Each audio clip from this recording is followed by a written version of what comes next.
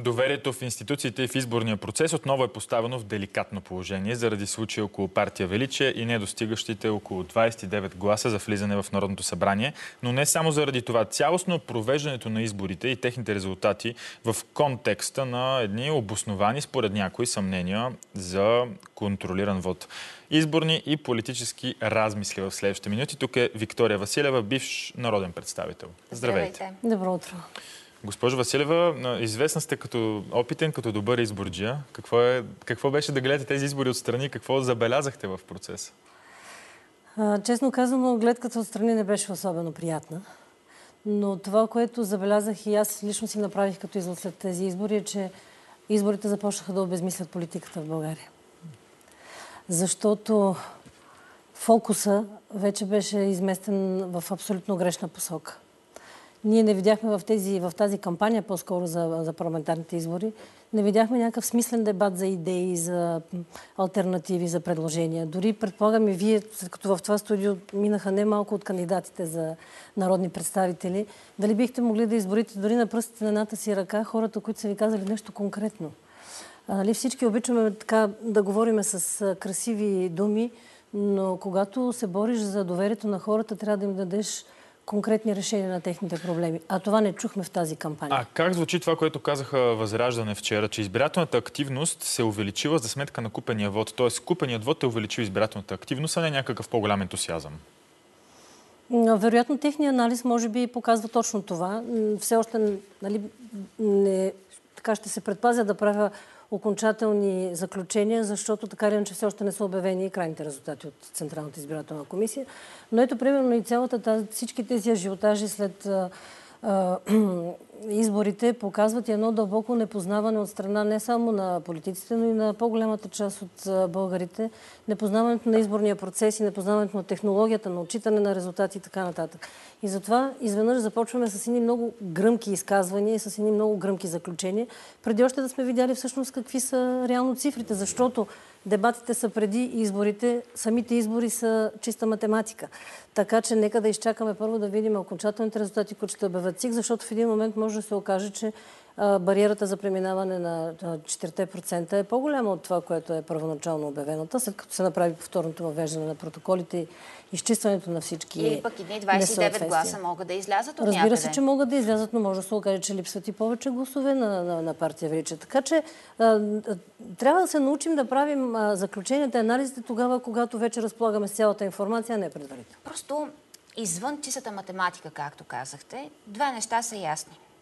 Видяхме с очите си а, как а, се попълват бюлетини. Въпреки, че жената, която го правеше, каза, че просто е държала химикал. Ами аз го гледах няколко пъти, някак си вярвам на очите си. Зрителна измама, каза. Много голяма зрителна измама. Може. Не знам. А, всички отричат това. Но и другото, което направи впечатление, споменахте величие. Тук няма само чиста математика, има и политика. Как една партия, която беше тоталната изненада само преди няколко месеца, имаше такава подкрепа, сега а, бори глас за глас дали изобщо ще влезе в Народното събрание. Как така се случи? Тези избори, както и много други избори, които сме провеждали преди това, показват недъзите не толкова на избирателната система, колкото на самия избирателен процес. И аз се чудя защо толкова години, в продължение на толкова много години, не се взеха мерки да се коригират много от нещата в самия процес на провеждането на изборите. Повярвайте ми, има неща, които биха могли да бъдат приложени то без всякакви усилия. Например? Които да направят изборите толкова, а, смисъл да ги направят максимално честни и прозрачни, защото така или иначе при участието на толкова много хора вие не може да гарантирате 100%, 100% честност на изборите. Нека да не си да говорим сладки приказки.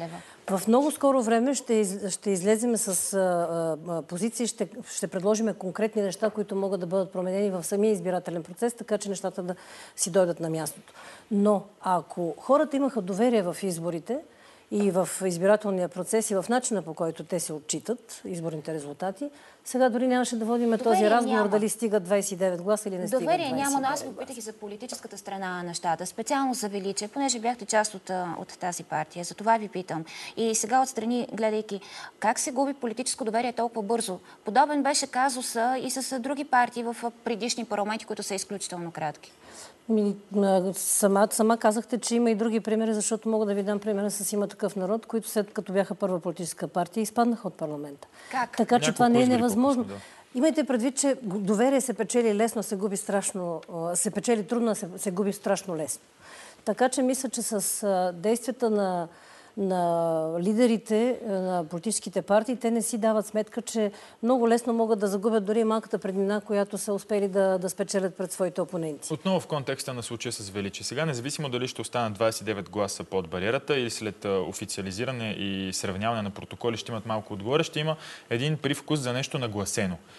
Вие виждате ли заговор около Величие? Не, честно казано не мога да, да твърдя, че има някакъв заговор, защото а, това означава да придаваме на величие някаква изключителна такава Величие. важност и тежест. И видите ли, сега всички са против това величие да влезе в парламент. Аз не виждам нищо лошо Не дори в всички. това да влязат величие А, в Някои парламента. влиятелни играчи, да кажем. Дори на момента съжалявам, че е, се случи тази ситуация. Бих искала те да си влязат в парламента, за да могат наистина всички да ги видят в, техния, така, в целия им разкош и в целия ми блясък и великолепие. Какво трябваше да видим? Пък няма Ами, да видим. да видим всъщност несъстоятелността на много от техните тези и начина по който те си представят политиката. Е, вие Защото там. оттам тръгна. Ми оттам тръгнаха конфликтите в това, че по много различен начин виждахме това как трябва да бъде правена политика. Но не го виждахте, докато сте правили кампания за предходните избори. Ами не, честно казано, по време на кампанията всичко си беше наред. Как ще се прави политика сега в 51-я парламент тогава? Изключително трудно, почти невъзможно, да не кажем, защото при така, такова разположение на силите, честно казано, аз не виждам как ще бъде съставено правителство и това правителство да може да провежда някаква смислена и дългосрочна политика, защото а, и това не е феномен от сегашните избори. Това е с натрупване в продължение на години, последните няколко години. Отношенията между политическите партии и техните политически лидери стигнаха буквално на нивото на откровенна ненавист. По този начин ти с тези хора няма как да седнеш и да говориш за политики и за общи действия. Нас отстрани не интересуват чувствата между тях, интересува ни ефективното управление и някакъв държавнически менталитет. Но, госпожо Василева, добра основа ли е това, което предлагат от Продължаваме промяната Демократична България? Декларация, санитарен кордон около ДПС ново начало, начало с Делян Певски, условия да не се избират председателя на комисия, заместник председателя на Народното събрание от тази партия. Може ли антагонизма да бъде фундамент за живота на парламента и на бъдещ кабинет? Току-що всъщност подкрепихте моята теза от преди малко, че когато тръгваш на преговори с предварителни условия, и то, а, знаеки, че тези условия най-вероятно няма да бъдат приети, какво правиш тогава? Това Защо означава, да не бъдат ти приети, че се автоматично обявяват? казваш. По сходен начин. Ами вижте, вие казахте, че не- е важно личните им чувства, но за тях личните им чувства са изключително важни. Повярвайте ми. Познавам тези хора, защото все пак съм работила с тях и съм била рамо до рамо с тях. За нас, хората от страни, които наблюдаваме политиката, знаеме, че политиката не трябва да бъде правена през личното. Но те, за съжаление, не могат да надскочат себе си и продължават да правят политика през личното. И виждате ли как стават много чувствителни и обострени сетивата само тогава, когато проблема стане лично за тях. Това касае абсолютно всички политически партии. Когато един проблем се стовари на собствената им глава, тогава става страхотен проблем. Когато обаче е се стовари върху главата на опонента, сме по-низки от тревата и въобще не реагираме на този проблем. Затова си мисля, че дори в случая с Величие би трябвало да подходиме принципно. И а, не- да не се интересуваме от това, кои са личностите, които стоят зад зад конкретната партия или зад конкретната а, политика. А когато има един проблем, да го погледнем в, да го погледнем принципно и този проблем да бъде решен. Но принципа зад това, което преди малко споменахте, не е ли друг? Не се ли търси винаги един архивраг? Преди беше лидерът на първата сила, после беше президента, сега предлагат да бъде Певски и около това да се сформира кабинет. Вижте, политиката по принцип съществува на базата на наличието на опонент. Но ние го превърнахме наистина буквално в наличието на враг.